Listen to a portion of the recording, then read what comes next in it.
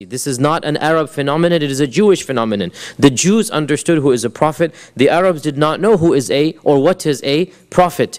And that is why Allah says, لِتُنذِرَ قَوْمًا مَا أَتَاهُم مِّن نَذِيرٍ مِّن قَبْلِكَ That you can warn a nation who didn't have a prophet before them that they knew. Of course, the Prophet Abraham was there, but his legacy was almost forgotten. They didn't really know what is a prophet. And so Allah says He had not sent a prophet before to uh, the Arab nation. And therefore, when the Arabs heard of this, that you are a prophet of God, the only other nation that they knew who believed in prophets were the Jews and Christians. And so they sent emissaries to the Jews, they sent emissaries to the people of the book in order to say, okay, this is a phenomenon that is from your religion, is happening in our culture. And we know it's not true. We don't believe in this. So why don't you tell us something that we can quiz the Prophet with? We can try to ask the Prophet. And obviously because they thought he was a false prophet, he was not going to be, be able to answer. So his lies will be exposed. And so they sent a number of delegations to Medina. At that time it's called Yathrib. And that is because Yathrib was the only place that were Jews living close by.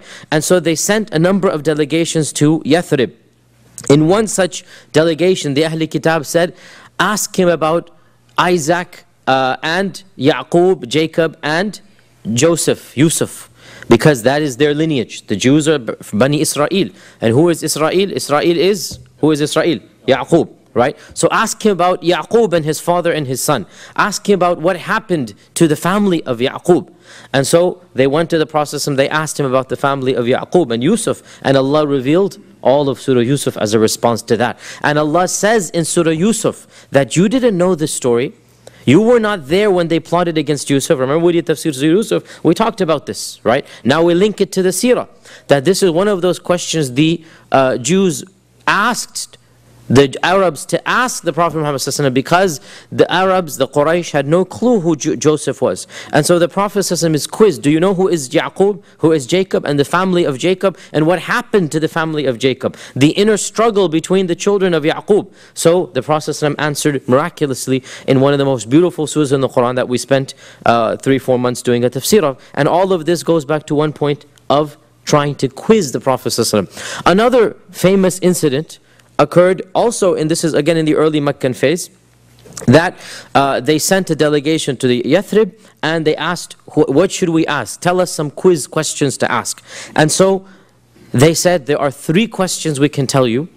Nobody would know this except a true prophet from the prophets of Israel. Because again, from them, they only understand the prophets of Israel. These are three questions only somebody who is from within that understanding will be able to tell us, otherwise he'll not be able to know. And so ask him about three things. Number one, ask him about the story of the young men who entered a cave and slept a long time. The young men who entered a cave and slept a long time. These are folklores and legends. Only a prophet knows the details. Number two, ask him about a man who traveled the world from the east to the west and who had experiences that are legends. And number three, ask him about the ruh. What is the ruh and what is it made of? Where, what is it coming from? And so, and this is a report in Tirmidhi, and it is slightly weak, but again, it's uh, we don't have a problem with weak traditions overall. Uh, the Prophet when he was asked these three questions, he responded confidently that come back to me tomorrow and I will tell you the answers to these three questions.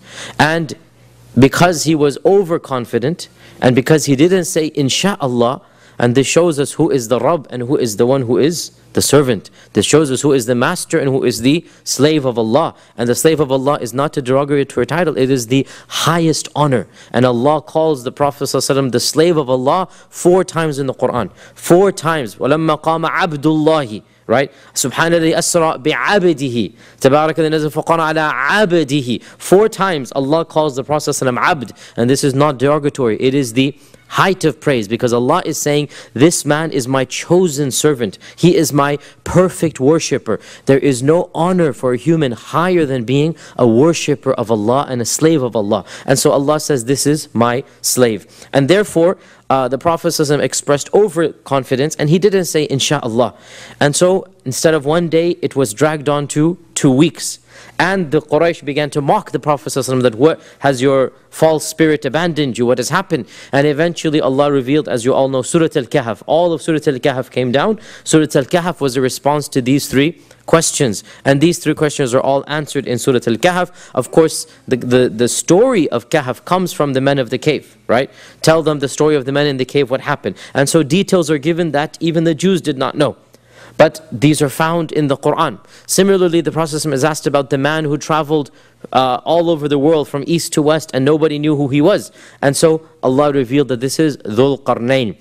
Now, point here, some people say that Dhul Qarnayn was Alexander the Great. There is not just no evidence for this, it is in fact contrary to many things that we know. Alexander the Great was a well known pagan. His Sheikh was Aristotle. Aristotle was the private tutor of Alexander the Great. And there is no question that Alexander the Great was a pagan idol worshipper and Aristotle was a believer in the gods of the Greek mythology. And so Dhul Qarnayn is not Alexander. And there's other things as well, uh, which is not the place to get into. But Dhul Qarnayn is a figure we don't know who he is. He's not mentioned in Western sources. But he seems to have been a, a worldwide uh, traveler Was he a prophet or not? Scholars have differed uh, about this, was the, whether he was a prophet or just a king. Allah knows best.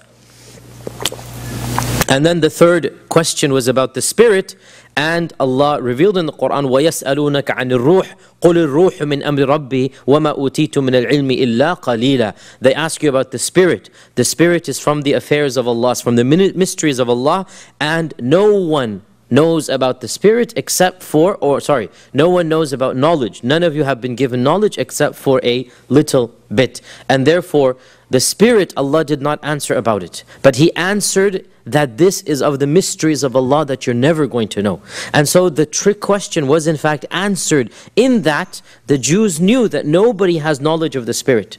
And so if He had answered a detailed knowledge, then it would have been against the question. Because the question was a trap, it was a trick question. That the spirit is one of the mysteries of Allah. Nobody will understand what is the human soul. وَيَسْأَلُونَكَ عَنِ الرُّوحِ And so the Jews, now the two other two questions, facts came out, right? The third question was a double trick, if you get the point here, right? And the answer was no answer. Because if he had answered, he would have shown, according to the Jewish knowledge, that he is not a prophet. Because certain knowledges Allah has kept to himself. And of the knowledge that he has kept to himself is the nature of the spirit. And to this day, we don't really know what the spirit is, right? Modern science doesn't even believe in it anymore, right? But all of mankind, one of the interesting points, every single culture on earth, every single civilization that has been documented, even ones that we have discovered in the past, two or three or four things are common amongst all of them. And again, this is an anthropology sub, uh, tangent, but just for your information, number one, religiosity. We have never discovered, and there will never be, a discovery of an atheistic nation. It's against human nature to not believe in a God right? And so every single society that we've come across, modern or pre-modern, that is still living in the jungles of Brazil or Africa or the Aborigines or pre-modern, they have number one, religiosity. Number two, they believe in the human soul. Every single nation on earth Every single society has beliefs in the human soul. Number three, they believe in evil spirits. Call them ghosts, call them jinns, call them ghouls. They believe in a power, an entity beyond our entity. Other things as well that comes to mind right now, subhanAllah, very amazing thing. Every single society believes in a great flood myth. It's called the great flood myth because modern anthropologists consider it to be a myth, right? Uh, but the fact of the matter is that every single society believes that there was a massive flood. And this is something, Google it. If you don't believe me, look at this up yourself. The Aborigines have a flood myth.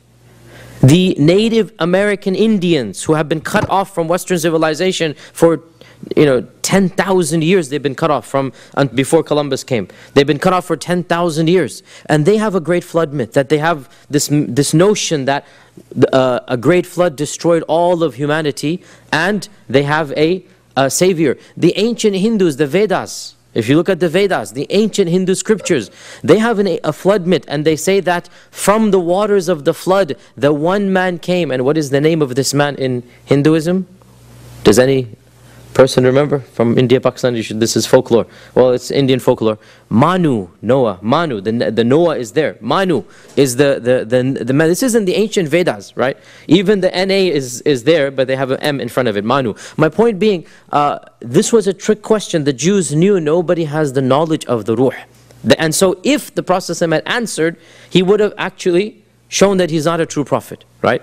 And so he answered the first two in detail and that's in Surah Al-Kahf.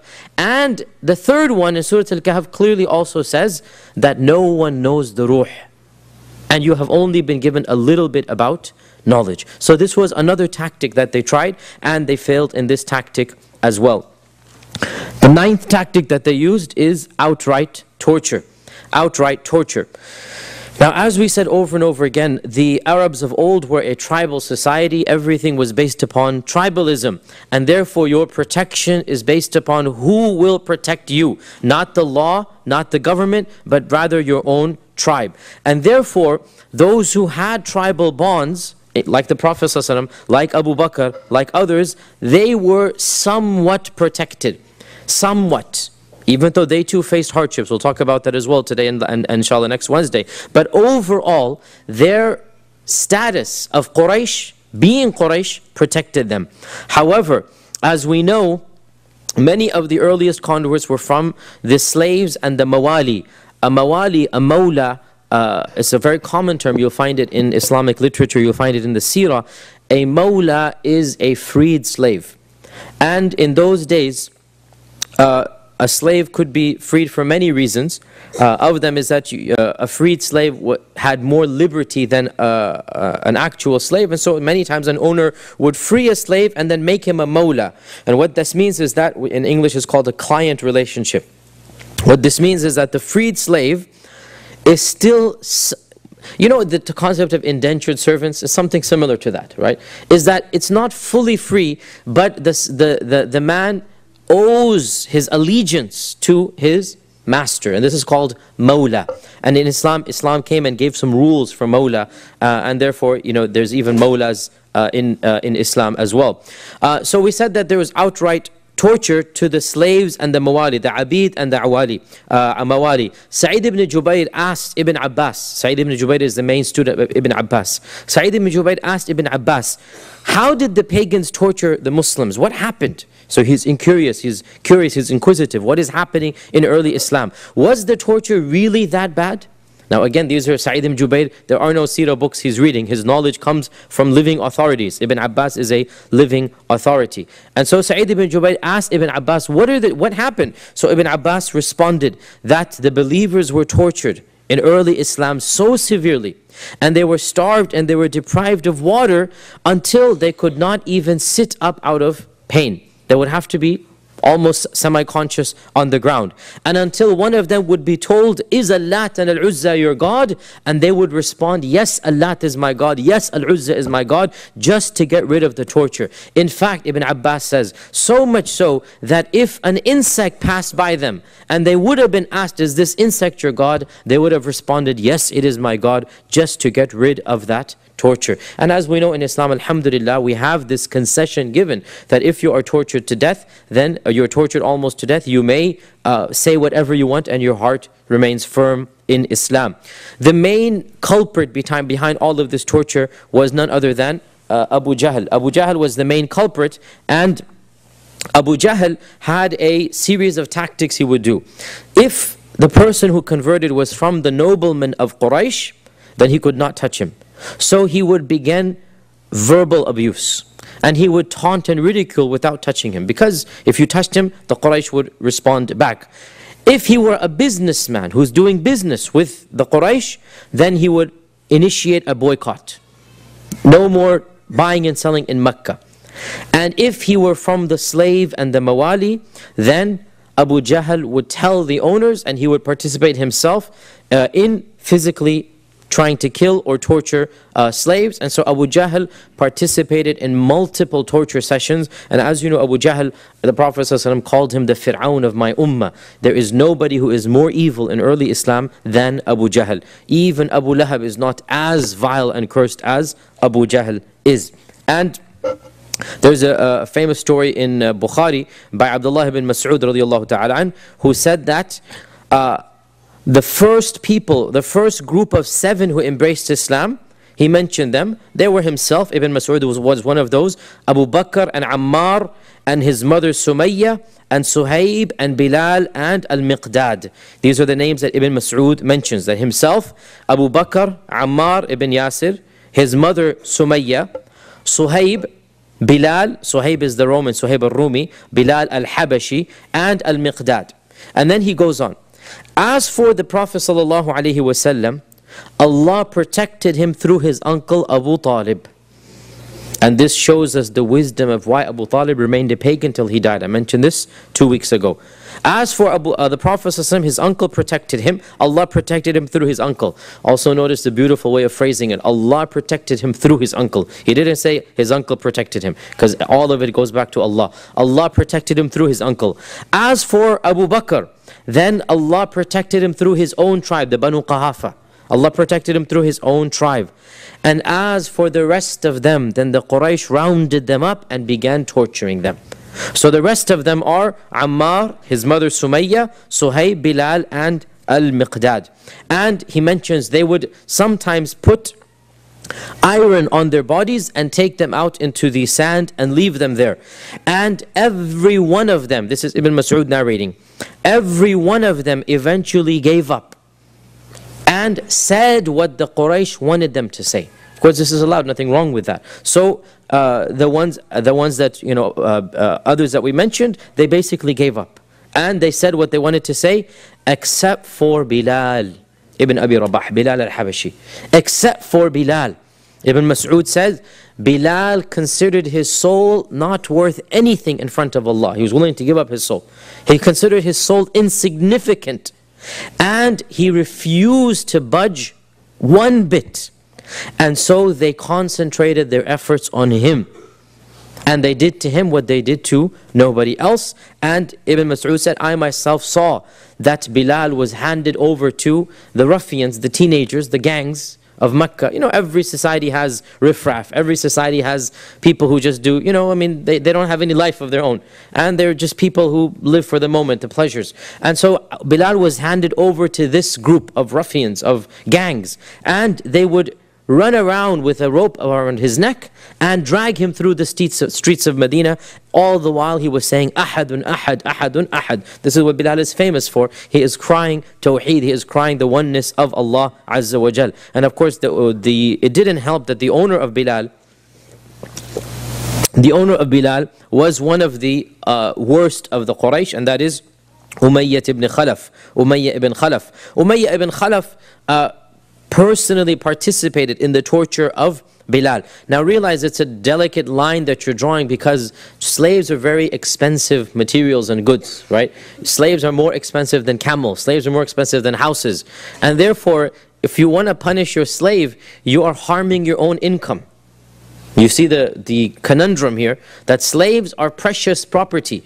You know, many people daydream once upon a time there were slaves and whatnot, and we wish we could have them. But yeah, the point being, the slaves were much more expensive. You know, you don't think they're like five, ten dollars. They would have been in the equivalent of fifty thousand, a hundred thousand dollars, right? And so it's a massive amount of money. It's counterintuitive to beat your own slave because you want him to live a long life, and you want him to serve you right?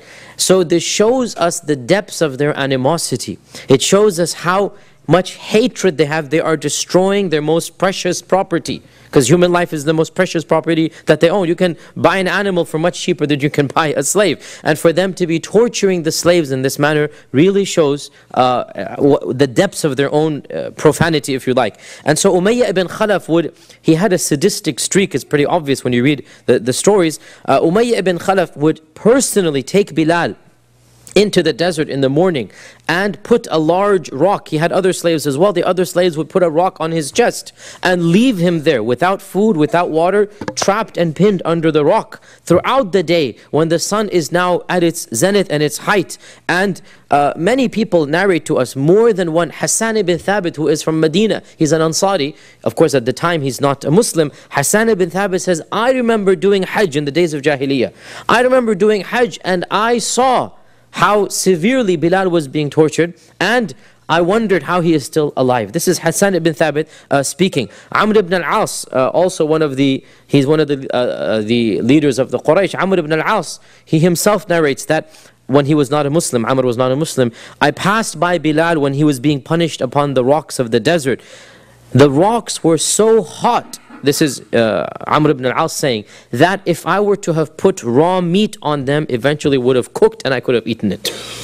The rocks were so hot in this desert sun that you can cook literally on it. And this is literally true. It's not just a, a phrase uh, like that. And Bilal was there for the entire day. And I heard him saying, Akfuru billati wal uzza wa u'minu billahi. I reject Allah and al uzza and I will believe in Allah subhanahu wa ta'ala. And so Umayyah continued to try to uh, punish him, uh, but, he but he refused to budge and he kept on saying ahadun ahad, ahadun ahad. And uh, many years later, Urwa ibn Zubayr, the nephew of Aisha, narrated, uh, many years later, Urwa narrated that Bilal was tortured by the people of Mecca and by, and by Umayyah ibn Khalaf in particular, but he never even gave them one word to please them. In other words, he didn't budge one word. Most of the others who were tortured, they had to collapse and they agreed. And they are completely forgiven. Allah knows we would have given up way before even they had. Uh, but Bilal was one of those few who remained all the way to the end. And look at how Allah subhanahu wa ta'ala rewarded him. For we as Muslims firmly believe that there's an expression, uh, memorize this expression, it's a common expression in Arabic and it goes back to our religion even though it's not a hadith. A lot of people think it is a hadith. Al-jaza'u min jinsil amal The reward or the punishment will be the exact same as what you were doing to get that reward or that punishment. هل جزاء الإحسان إلا الإحسان If you do ihsan, Allah will give you ihsan. And if you do evil, Allah will give you evil. So your reward will be based upon, will be the same type as what you did. And so will your punishment be. Al-jaza'u min jinsil amal. And this is a maxim, this is a rule that we apply in our religion that Allah Azza wa Jal will either punish or reward based upon and then the same type of what you did. So look here, this is Bilal. He is yelling at the top of his lungs. He's screaming, Ahadun Ahad, Ahadun Ahad. Hassan ibn Thabit can hear his torture. He cannot hear what Umayyah is saying. All he can hear is Bilal screaming out, I reject Allah and al-Uzza and I believe in Allah. And so he hears the torture. Wherever he is in Makkah, he can hear it. Eventually, what is Bilal rewarded with? We all know Bilal is rewarded by becoming the first and the most important and the only official mu'adhin of the Prophet Muhammad sallallahu alaihi wasallam. As he was calling out the unity of Allah in Mecca, persecuted and alone, eventually when Islam reached its pinnacle and it became powerful, he would announce the unity of Allah instead of in humiliation at the pinnacle of Izzah and he would announce the best and the most perfect adhan because when the dream of the adhan was told to the Prophet ﷺ, one of the Sahaba said, I saw a dream about the adhan. The Prophet ﷺ himself chose Bilal and he said, Go teach Bilal this because he has the best voice amongst you. He has the best voice amongst you. So the Prophet ﷺ chose Bilal to be the uh, mu'adhin. And therefore, the voice that was persecuted for the sake of Allah, the voice that was calling out one, one, one, was the voice that is calling out Allahu Akbar, Ashhadu an la ilaha illallah, Ashhadu anna Muhammadur Rasulullah. And when the Prophet ﷺ reconquered Mecca in the eighth year of the Hijrah, and he cleansed it of all of the idols, the first thing that he did, he commanded Bilal to climb on top of the Kaaba. And that very Bilal, whose voice of Ahadun Ahad could be heard in the valleys of Mecca, being persecuted, right? That same voice was then hoisted on top of the Kaaba at the pinnacle of honor, at the height of dignity. And he was told to give the first adhan ever in the sacred precincts of the Haram. And so the first voice to ever call out Tawheed in Mecca, all the valleys of Mecca, out loud, was the voice of Bilal ibn Abi Rabah. And look at how Allah rewarded Bilal as he was being as he was being persecuted by the Quraysh, Allah subhanahu wa ta'ala rewarded him. And look at the blessings of the mu'adhin. SubhanAllah, so many blessings of the mu'adhin that our Prophet said. Our Prophet said, that if people knew how much reward would be in the giving the adhan and in standing in the first row, and they had no other way out other than by drawing lots, they would have drawn lots in order to give adhan or to stand in the first row. What this means is that uh, the fact of the matter is that people don't know how important it is, and so, you know, whoever first come, first serve, and, you know, whatever, it's no big deal. But if they really understood how much blessing was there, then they would not just give it up, and they would demand, let's be fair here, we'll just have anonymous lots. It's going to pull, who gets to have the first row, who gets to have the adhan if they knew how blessed it was. And the Prophet ﷺ said, hadith is in Ibn Majah, that any mu'adhin who gives adhan, whatever hears his adhan from animate or inanimate object, min rutbin wala yabis, it literally means wet or dry, but the meaning of wet in Arabic here is it's moist, meaning it's a living entity. Yabis, it means rock and stone and trees, right? So no entity, living or, or dead, animate or inanimate, will hear the adhan except that it will testify for him. And in the hadith in Bukhari, the Prophet ﷺ said to a shepherd uh, uh, that uh, I have been told you are a shepherd, whenever you are in your lands, give the adhan, even if you are alone. It's sunnah to give the adhan because no jinn or ins will hear your voice except that on the day of judgment they will testify to what you have said. So they will testify to your iman. Now, subhanAllah, can anybody click one plus one together here. The one person who's giving adhan in front of the Prophet ﷺ, right? What did the Prophet ﷺ say? Whoever hears the adhan, what will he do? Testify on behalf of the mu'adhin, right? And who was the mu'adhin of the Prophet ﷺ by designation and appointment? Bilal. And whose adhan did the Prophet ﷺ hear? Five times a day in Medina Back and forth, morning and evening, for 13, for more than, well, uh, 10 years here and then uh, in Mecca as well, whenever they gave the adhan and Darul Arqam, as we're going to talk about, at least 11, 12 years, right? He is hearing non-stop, every single time, the voice of Bilal. And he is the one saying that the mu'adhin, whoever hears his voice will testify on behalf of the mu'adhin on the day of judgment. So subhanAllah, look at how the, the daraja, the maqam of Bilal ibn Abi Rabah, and of course our Prophet has many more hadith about the blessings of the adhan. Uh, of course, of them is the famous hadith in Bukhari, that the mu'adhins will have the longest necks on the day of judgment. What does it mean they're going to have the longest necks? It doesn't mean they're going to be like giraffes.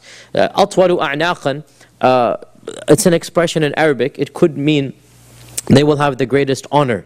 Because, uh, again, Arabs love, uh, the classical Arabic loves uh, symbolism, right? And so when you look up to somebody, this means he is worthy of honor, right? And therefore, if he has a long neck, this means, even in English, we say, I'm looking up to you. Even in English, you know, even though he might be shorter than you, looking down at him, right? But I'm looking up to you, meaning you respect him. Okay, and so the meaning of the mu'adhin will have the longest neck. Uh, it primarily means they will be the most respected on the day of judgment. Right? All of these hadith about the blessings of the mu'adhin and the official mu'adhin of the Prophet is Bilal. Another early name that we just mentioned is Khabbab. Khabbab ibn al-Arat. And Khabbab ibn al-Arat was one of the first ten converts of Islam as well. And he was a slave an Arab slave, and generally they treated Arab slaves better than non-Arabs. You know, as you know, it was a racist society, so Arab slaves had it a little bit better. And so Bilal really was the most tortured because he was not even an Arab; he was an Abyssinian. And by the way, I have to point out here as well, Subhanallah, look at the psychology of that society. That uh, the riffraff, the ruffians, the youth, can torture this slave and drag him through the streets with a with a rope around his neck. I mean, this is the height of, of barbarity, right? And even if these these teenagers that they're giving Bilal over to, these ruffians, they have no, nothing at stake other than sadistic pleasure, basically, right? And the only way that you can get away with this as a society is to dehumanize a group of people. Consider them to be just not even human.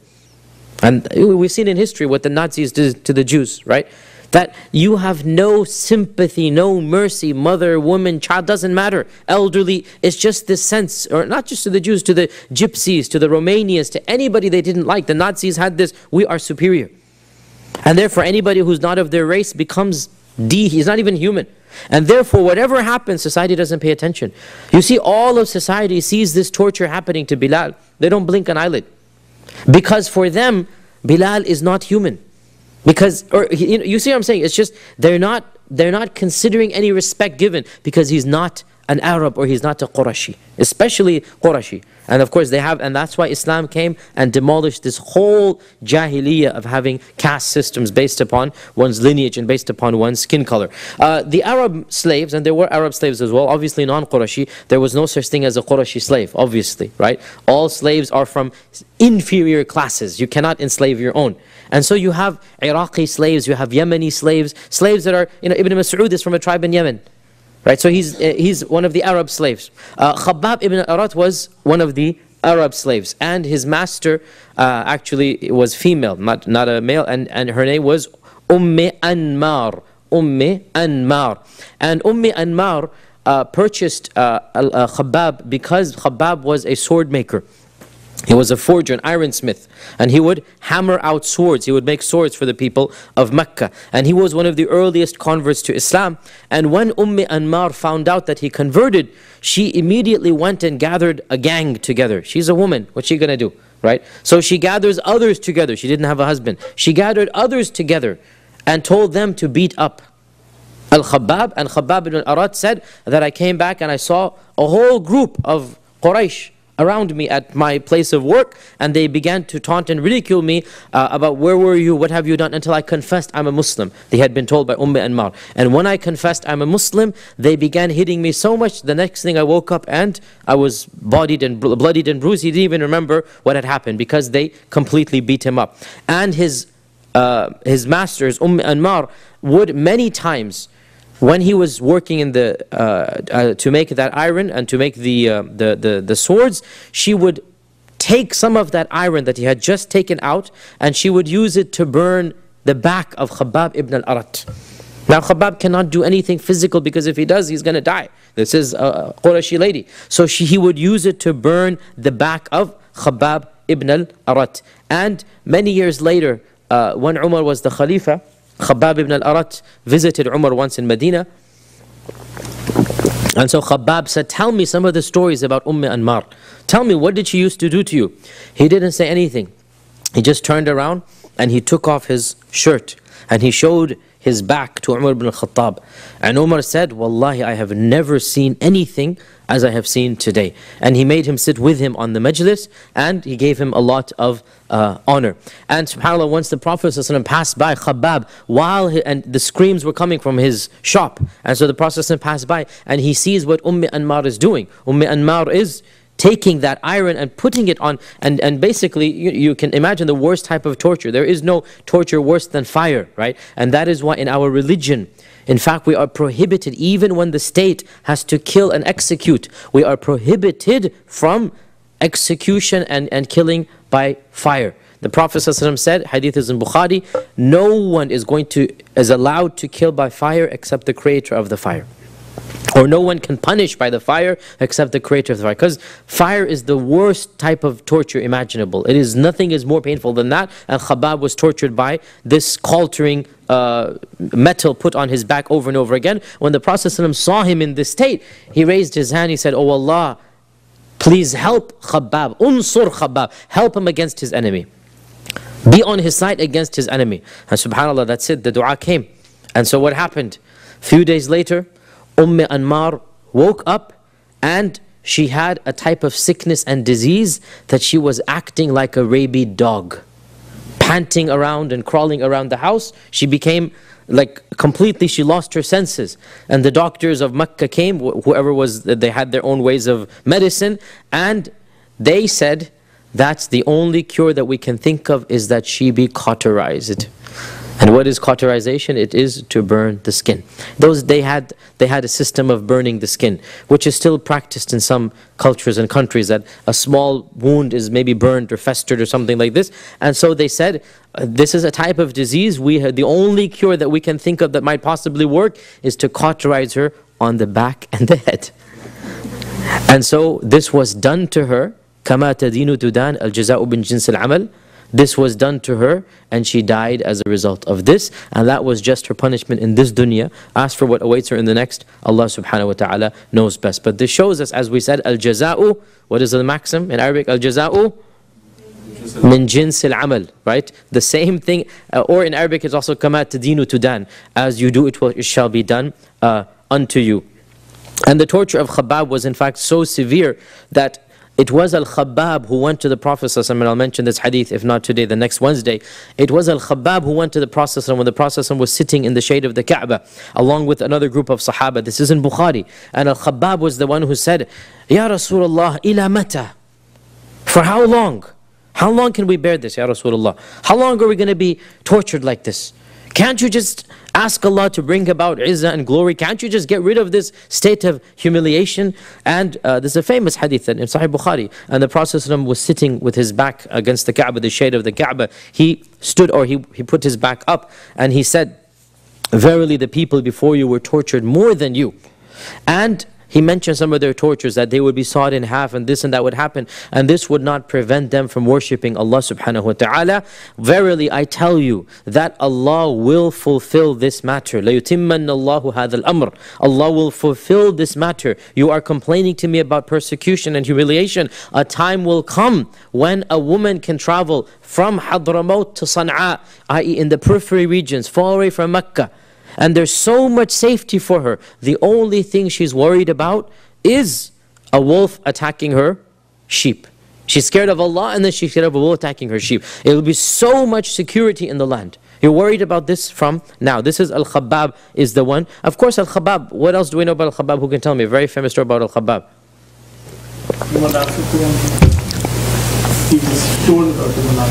No, that's not Al Khabbab ibn al Arat. That's Hudayfa ibn al Yaman. Khabbab should ring a bell among some people. Famous story of Khabbab. Umar ibn al-Khattab's sister. Umar comes to his sister's house to kill her, remember? And who is in the house of Fatima bint al-Khattab? Khabbab. And this shows us that even as a slave, he's secretly volunteering his time to teach Islam to other people. As a slave, he's going secretly to the house of other people to teach them the Quran. And this shows us that he was one of the more knowledgeable of the Sahaba. And Al-Khabbab participated, now his master, his mistress died. Uh, Al-Khabbab participated in all of the expeditions of the Prophet ﷺ, and he lived up until the 17th year of the Hijrah. Now, Umar had an interesting policy. This time a little bit different subject here. Abu Bakr had one policy, Umar had another. Abu Bakr had a policy that all of the Sahaba should get the same salary from the government. And when he was asked about this, he goes, Who am I to prefer one over another? Allah knows who has taqwa. Everybody should get the same stipend. Everybody gets the same salary. Right? Umar, when he came, he said, No, I don't agree with this policy. Those who accepted Islam earliest will get grade A pay. And grade B will be those who accepted the second, third, fourth. And the lowest pay will be for those who accepted Islam the last. Now, ironically, and of course, uh, this is Umar here, that put him at a grade C basically. Right? There was a whole group of people before him. And this shows us that he's not doing this to prefer himself. Because even he is basically not even the first batch, not the second batch, he's in 6th, 7th BH. He's way after all of these people. So Khabbab is getting one of the highest salaries any Muslim is getting because he's of the top 10. Right? And the top 10 is still alive. I mean, Abu Bakr was there and a few more were there. Uh, uh, Bilal and Khabbab. This batch were getting the largest salary uh, from Baytul Mal. And so Khabbab, with this salary, he was living in Kufa at the time. He built himself a modest house and uh, he built a or he had a sunduq al-mal, it's like a, a treasure box, let's say, that was open, no key. And it was known in the city, anybody who has any monetary problems can simply take it from the house of Khabbab with no questions asked. You come and you take whatever you need and you go. No questions asked. So the money that he got, he is spending it basically, you know, the bulk of it is spent on the, the fuqara and he has built for himself a, a, a house. And when he was about to die, it's a famous story of Khabbab, when he was about to die, uh, he began to cry on his deathbed. And the people around him and his children said, Why are you crying? You have suffered so much, you have reached the highest level, and you will meet the Prophet. ﷺ. And he died, by the way, in 37 AH, if I'm not mistaken, 30, 37 AHS. So why are you crying? And so he said, I am not crying out of pain. I'm not crying out of fear of meeting Allah subhanahu wa ta'ala. I am crying because of what you see around you, this house. What will I answer Allah for my luxurious living? Verily, I was with a group of people. All of us were on equal footing. And all of us were being tortured and punished. But every one of them has gone before me without tasting the sweetness of this world.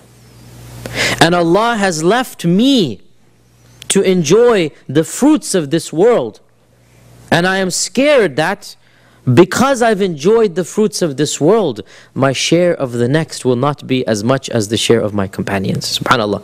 He's crying about this because he's saying, I knew a group, and then he was brought his kafan. Now he is a wealthy man now, even though he's not living a wealthy life, but he is. And his kafan, beautiful large sheet, is being prepared in front of him. He's on his deathbed, he's literally going to die the same day. And he begins to cry again. And he goes, Wallahi, I remember Hamza, the uncle of the Prophet.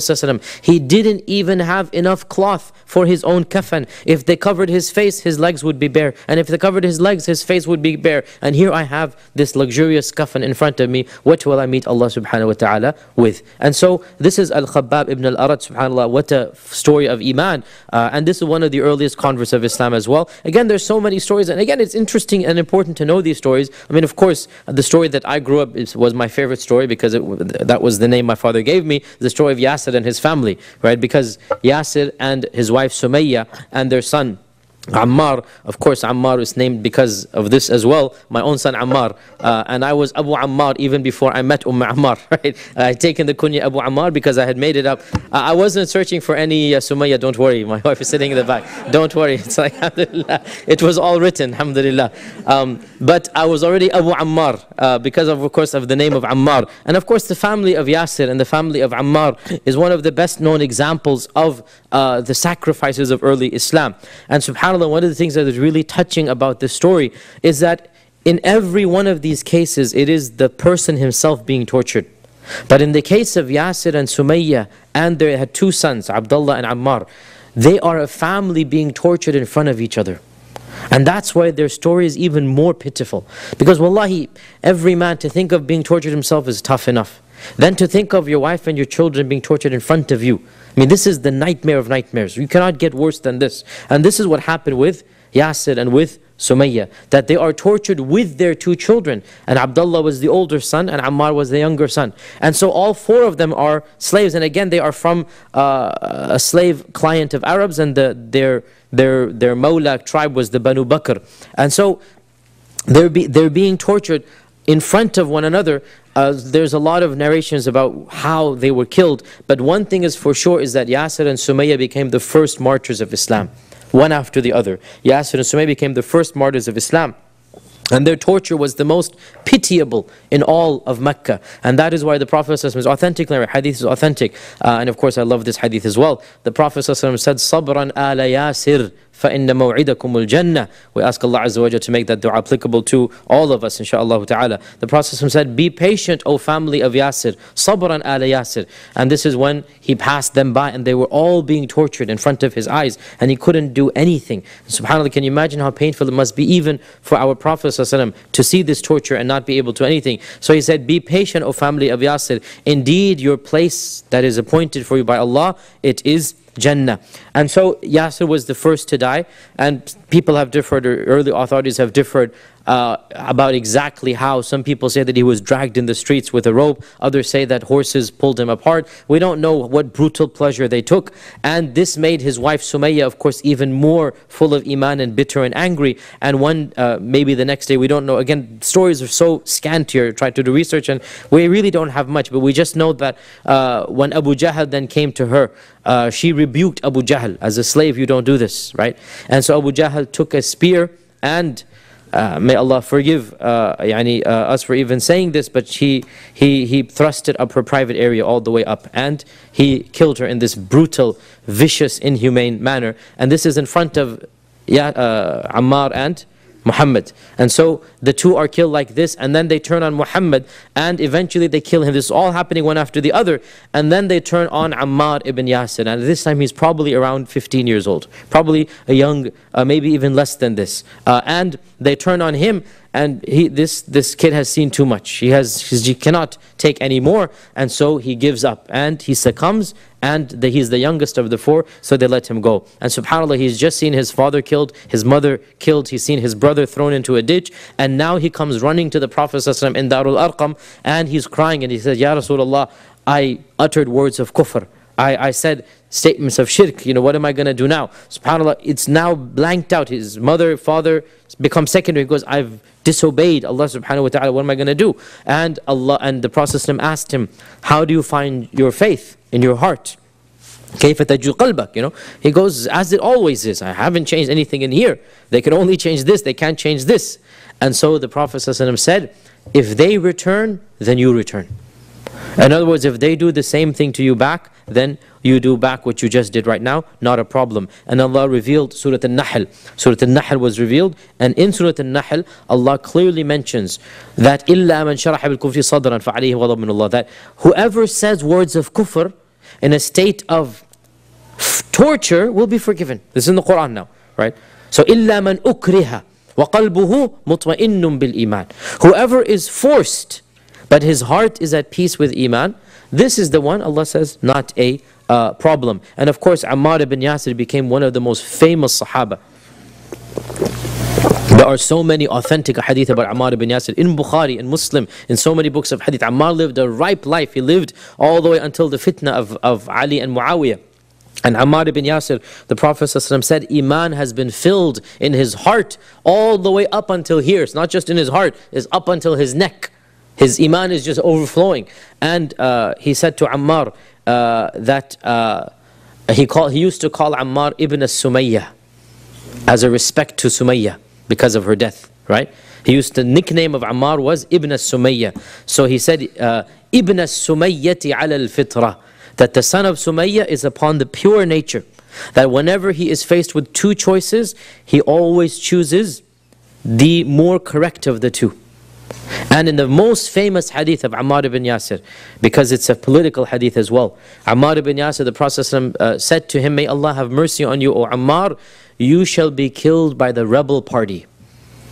تقتلك الفئة الباغية you shall be killed by the rebel party. And subhanAllah, many, many, many years later after this hadith, 40 years after this hadith, in the civil war between Ali and Muawiyah, Ammar chose the side of Ali ibn Abi Talib. And in the battle of Siffin, the battle of Siffin, he died. He was killed by an arrow from the side of Muawiyah, right? And this hadith was then used as a huge victory point that the more correct side was the side of Ali. Now we as Ahl Sunnah, we never say anything bad about any of the Sahaba. And we say that Ali and Muawiyah both intended good, but the one was closer to the truth than the other. And we don't say evil about the other. And we say Allah will forgive all sides, radiallahu anhum, waradu an. And that was a great fitna and time of fitna. Uh, but later on we can, you know, hindsight is 2020. It's always easy to analyze after it happens, right? Later on we can say that the more correct side was the side of Ali right? And we say this uh, for the sake of the truth and not because of any uh, political correctness or reasons. The more correct side was the side of Ali. Uh, uh many other stories as well. Suhaib al-Rumi is the famous story as well. And by the way, th these names, uh, Ammar and Suhaib and Bilal, these three names, they were always mentioned together in the seerah. Why? Because they were very close friends.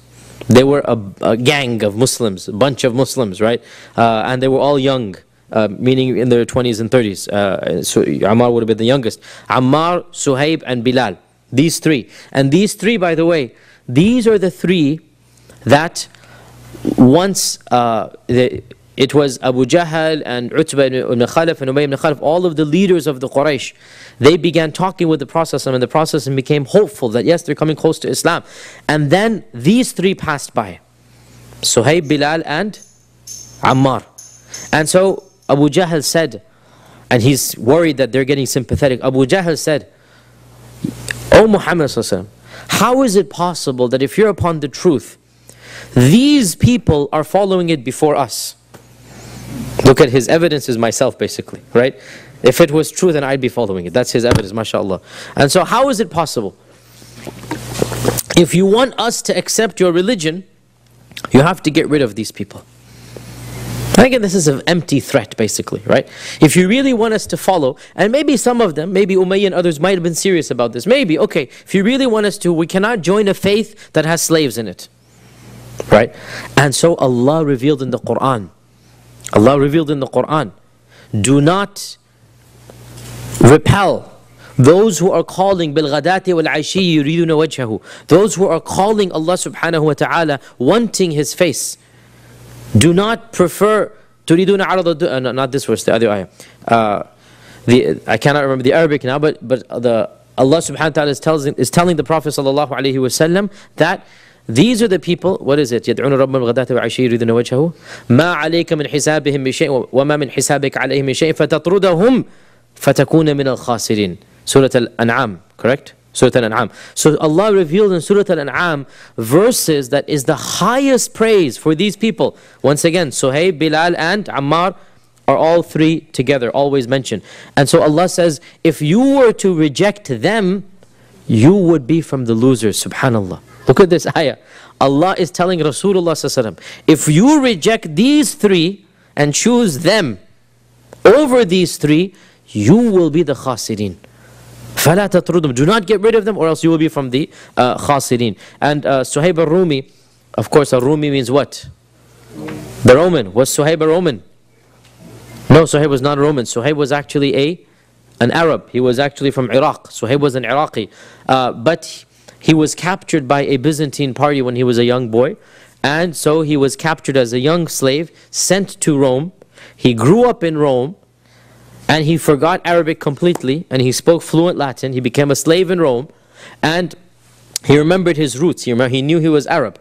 And so eventually he fled away and he sold himself. I mean, you, know, you were a slave, you needed to be a slave back then apparently. So he sold himself to some Arabs or he got into some Arabs. Eventually he was sold to Abdullah ibn Jud'an in Mecca. Abdullah ibn Jud'an in Mecca. And Ibn Jud'an was one of the more merciful of the slave owners. Um, and so the torture of Suhaib was not as bad, but nonetheless the others tortured him. Ibn Jud'an did not torture him himself, Abu Jahl and others tortured him, but Ibn Jud'an overall dealt with him in a good manner. And uh, he actually made him a business manager because Ibn Jud'an was a wealthy businessman. So, because Suhaib was so intelligent, he knew how to read and write and everything, so uh, he became a business manager, he became wealthy. When Ibn Jud'an died, he became a free man because he wrote in his will that Suhaib, Suhaib is going to be free after I die. So he became a mawla. And so when Ibn Jud'an died, uh, it, uh, the, Suhaib decided to immigrate to Medina. And when he was immigrating to Medina, the Quraysh heard about his, this. And so they stopped him on the outskirts and they approached him as, as, a caravan. And Suhaib turned around and he took out his bow and arrow. And he said, You know, I am the best sharpshooter, marksmith amongst you. And I promise that none of you will be able to touch me until every arrow in my quiver has touched human flesh. And I promise that none of you will be able to touch me until my sword is bent and broken upon your bones and blood. Go ahead, challenge. Ten of them versus one of you. But they didn't love their lives that, they didn't love Suhaib's life that much as their own. And so they just surrounded him, kept on threatening him, until finally they said, Suhaib, you came to us penniless. You came to us without any money, without anything. And now you're leaving us as a rich man, taking our wealth. Give us back all of this money, and then we'll let you go. And this is, subhanAllah, the way of you know, you still hear it now that these illegal immigrants come and take over our jobs and as if it belongs to them, as if they would do the jobs that the others are doing. So I mean, this type of mentality, don't think it's new. Wallahi, when you study human history and anthropology and psychology, been there, done that. Nature of man doesn't change. The, the issues might be, have different fancier names. It's still basic racism and whatnot. So they're attributing all of Suhaib's success to themselves. This is my money, not your money. This is our money. So Suhaib said, Is that what you want from me? You want all of my wealth? They said, Yes, even the horse that you're riding. SubhanAllah, you can't just leave a man in the desert without a, a camel. Even the, the, the, camel that you're riding. So there was no alternative. So Suhaib said, Okay, here's the camel, here's my wealth, and the rest of my wealth is buried in such and such a place. Because again, there's no bank accounts, you're going to bury it somewhere. Go there and you shall find the wealth. And so Suhaib al-Rumi became the only Sahabi that we know of who performed the hijrah on foot, walking in the desert without any, not just the clothes on his back, that's all he owned. After being the richest Mawla, there was no Mawla, there was no freed slave richer than Suhaib because he was the business master of Ibn Jud'an. He became the richest Mawla. He gave every penny of it in order to free himself and go to Medina. And it is said, the books of Sirah say that he was literally crawling on all fours because he doesn't have food and drink except what he could find in the desert. He was literally crawling on all fours by the time he got to Quba.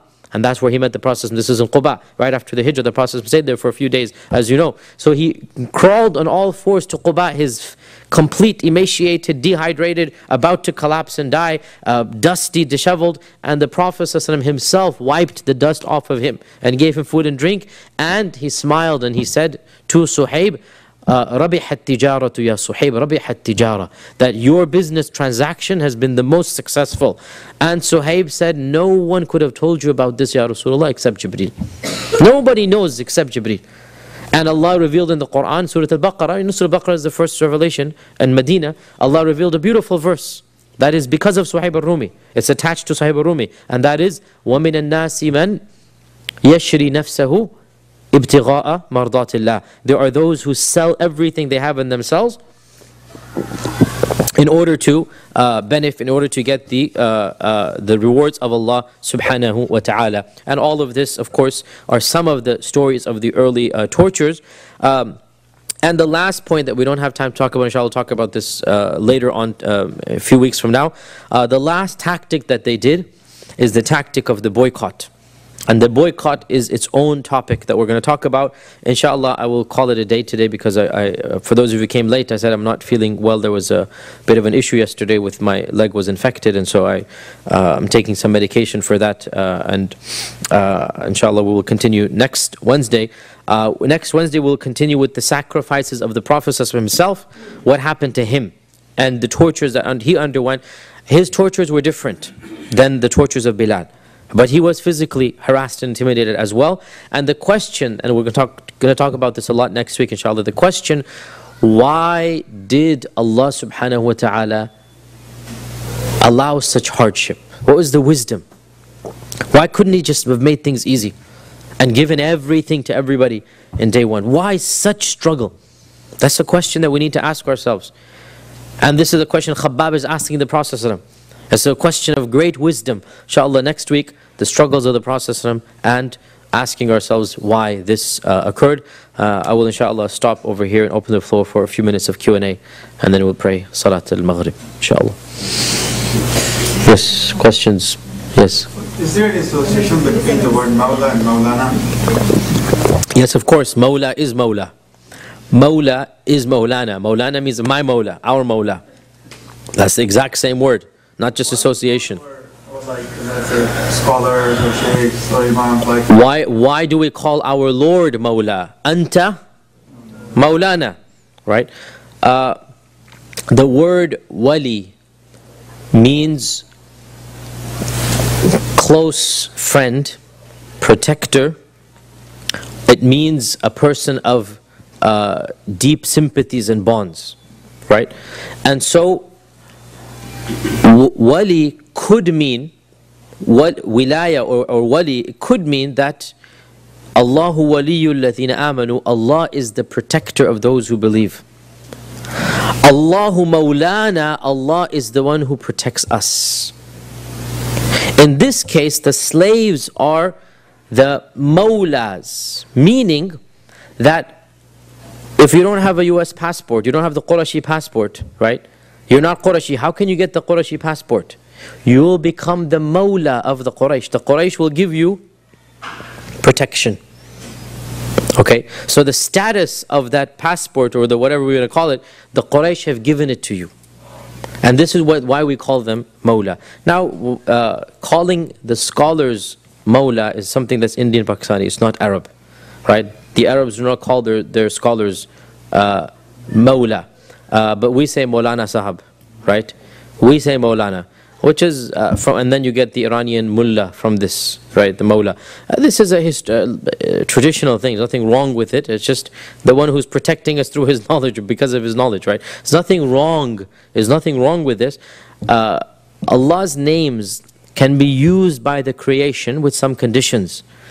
As long as the alif lam is not there, generally speaking, right? Allah is Al Mawla. Allah is Ar Ra'uf. Allah is Ar Rahim.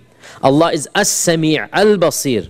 But you are Sami' and I am Sami'. You are Basir and I am Basir. I can hear and see. We are not As Sami' and Al Basir. So to use the word Mawla in a generic sense is permitted. But to use it and say Al Al Mawla, there is only one Al Mawla. And that is Allah subhanahu wa ta'ala. Anta Mawlana. Okay. Questions? Sisters have any questions? Yes, go ahead. Um, what, what, what determines uh, what revelations were included as part of the Quran versus those that are narrated narrated by Hadith? What determines what is Quran versus those narrated by Hadith? Do you mean Hadith Qudsi? Well, revelations.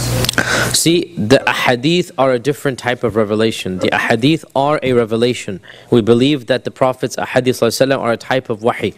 Because Allah says in Surah An-Najm, He does not speak of His own desires. Rather, it is from Allah. وَمَا يَنْتَقُ عَنِ الْهَوَى إِنْ هُوَ إِلَّا وَحْيٌ يُوحَى Right?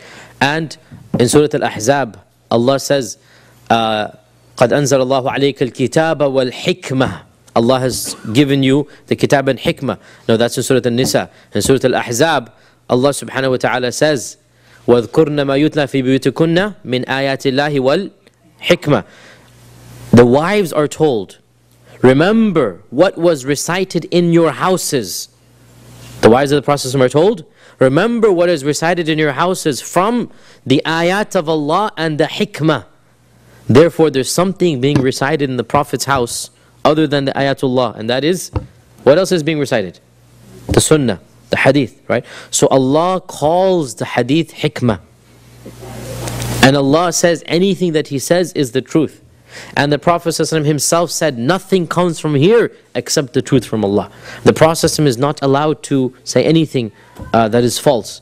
And therefore, we believe it is a type of wahi, but the wahi that he has is a very different type of wahi than the Quran. The Quran is inspired in wording and meaning. The actual love comes from Allah. The alfaz are inspired by Allah and recited. But the ahadith, the meanings can come from the Prophet, but the concept comes from, from Allah subhanahu wa ta'ala. Right? So there's a difference between Quran and hadith in that the ahadith are not wordings from Allah. This is the process of speaking as a human being. But his speech will be divinely protected as a prophet. The Quran is coming, it's tilawa, it's from Allah. And Allah is re- reciting it. And therefore it has a, uh, uh, a station that is more sacred than hadith. Does that answer your question or? Okay. Two more questions inshallah. Yes, go ahead. Rasulullah, uh, all these conversations are hadith. all of the conversations, the word hadith has and sunnah has many meanings depending on how you use it. Uh, when we use it as the scholars, the scholars of the seerah or the scholars of the sunnah, a hadith is every single statement of the Prophet ﷺ. Every statement of the Prophet ﷺ is a hadith. Therefore, whatever he said is a hadith. Even his jokes, ﷺ, even his jokes, and he did crack jokes by the way. Our Prophet ﷺ cracked jokes. He had a sense of humor. And there are many stories, inshallah, one day I might give a lecture about the humor of the Prophet. ﷺ. Even his jokes are statements of fact. We derive aqidah and fiqh and adab from his jokes. Right? I mean, you all know the famous joke of the old lady, right? Yes. The old lady. It's a theological point that we derive. All people will not enter Jannah. They're all going to be young. It's a joke he cracked at the old lady that old ladies are not going to enter Jannah, right? And the old lady started wailing and crying and goes, Ya amatah, oh my dear mother. Yes, old ladies are not going to enter Jannah. Allah will cause you to become a young lady, then cause you to enter Jannah, right? It's a theological point of benefit that we derive. Uh, and fiqh as well, and other things that we derive. Uh, you know, the famous hadith that the Prophet was on his deathbed, and uh, uh, you know, Aisha fell sick as well on his deathbed. Aisha had a fever as well, right? And uh, you know, she began complaining about uh, her head, her head. Uh, and, you know, she, she felt she's about, I mean, you know, she's a young girl, she felt she's about to die or something. And so the Prophet is joking with her and saying, Yani, you know, what is the matter with you if you die? Why are you worried? You're going to be so fortunate and blessed that I'm going to wash your... You know, he knows he's about to die, by the way. So he's cracking jokes on his deathbed to make the mood easier for Aisha to bear, right? And so he tells Aisha, if, you're, if you die, even though he's about to die, if you die, alhamdulillah, I'll wash your dead body, right? And I'll pray over you and I'll, you know, give you a dafn. I mean, what more can you want, right? So he's joking with his wife. And then, of course, Aisha replies, I'm sure you're waiting for that day because then you won't have anybody between you and your other wives, right? Because Aisha was the main barrier. Yani she was the one, mashallah, controlling any of the Prophet in this matter, right? And so from this we derive the fiqhi perspective point, which by the way our culture does not agree with, the Hanafi culture, but uh, the fiqhi point, husbands can wash the, the bodies of their wives and vice versa. Because he clearly said, I would wash your body, right? And pray over you and whatnot. So we derive a fiqh from this joke. That, you know, there's a cultural thing, the nikah breaks. This is not true at all. Is just a cultural thing. Uh, and the husband cannot. This is clearly in Sahih Bukhari hadith. So everything that comes from the Prophet is a hadith. No questions about that. Final question in the back. Or two questions. Go ahead. Yes, go ahead. Bilal's, Bilal's high status, do we have any narrations from Bilal? Do we have a hadith from Bilal? Yes, we do. Musnad Imam Ahmed has a whole section of a hadith of Bilal. It's a good question. Let me look up some of them. I don't remember any of them offhand, what he actually narrated. But Bilal is mentioned in so many ahadith, and there is Musnad Bilal. I am 100% sure. Some things go back to him. A very good question for me to look up, inshallah. Remind me again, and inshallah, next week, hopefully, inshallah, I will bring something for you. Yes, sister, go ahead.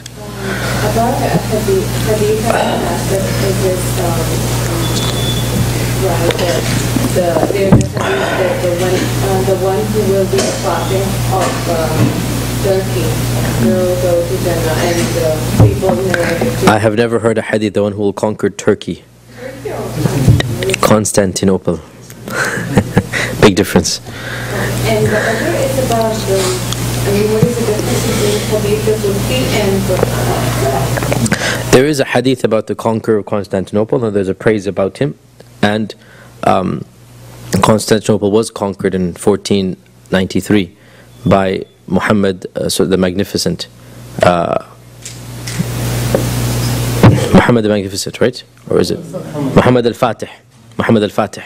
Muhammad the Conqueror, not Suleiman is the Magnificent, sorry. It's Muhammad al-Fatih, Muhammad the Conqueror. Um, so there is a hadith about that, and inshallah we hope the praise will get to him uh, and applies to him. As for the difference between Quran and Hadith Qudsi, the strongest opinion seems to be that the only difference is that Hadith Qudsi has not been preserved in wording. It was revealed in wording, but it has been preserved in wording. And so the same Hadith Qudsi we find it in many different wordings. Bukhari might have one wording, Muslim might have another. So the hadith Qudsi have been narrated by meaning, just like the other hadith.